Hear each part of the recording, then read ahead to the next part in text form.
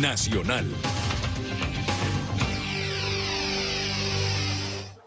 Avanza la primera vuelta presidencial en el exterior y la Cancillería monitorea permanentemente los puestos de votación que se habilitaron desde el domingo en la tarde. ¿Cuál es el balance a esta hora? Nicole.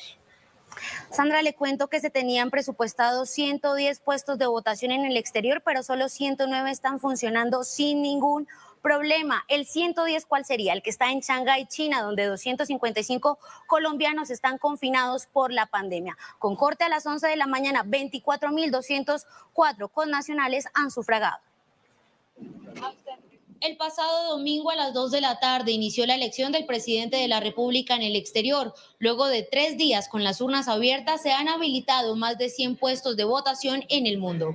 El Ministerio de Relaciones Exteriores informa a la opinión pública que se dio inicio al proceso electoral con total normalidad, en 109 puestos de votación de los 110 que se tenían estimados.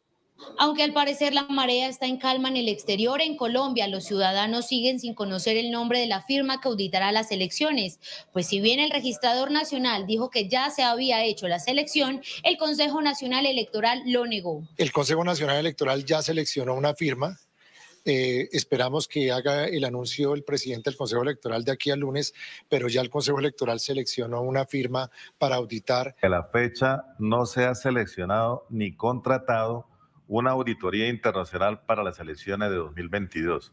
El Ministerio del Interior hizo oficial el funcionamiento de la plataforma Uriel que recibirá las quejas y denuncias ciudadanas sobre irregularidades en el proceso. A su vez, la misión de observación electoral también está al tanto de la transparencia de los comicios. nuestros jueces de la República